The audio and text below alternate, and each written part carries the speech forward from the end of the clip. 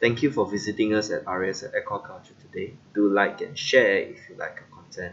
So today we're going to take a look at how crabs are actually molting in our vertical crab farm. As molting is a highly complex process, uh, it requires a lot of energy for the crabs to molt and they might sometimes appear to be non-active and not responsive to any feed when they are about to molt or when they undergo molting process like this crab.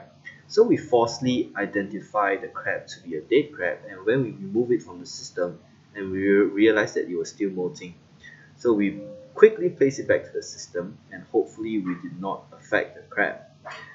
But as it as we place it back, it was trying to uh, continue molting. We see we realize something that the crabs tend to get pushed back from the water jet from the incoming water supply into the back to the tube. So we're not too sure how does that affect the molting, but we will keep on monitoring. And that's it.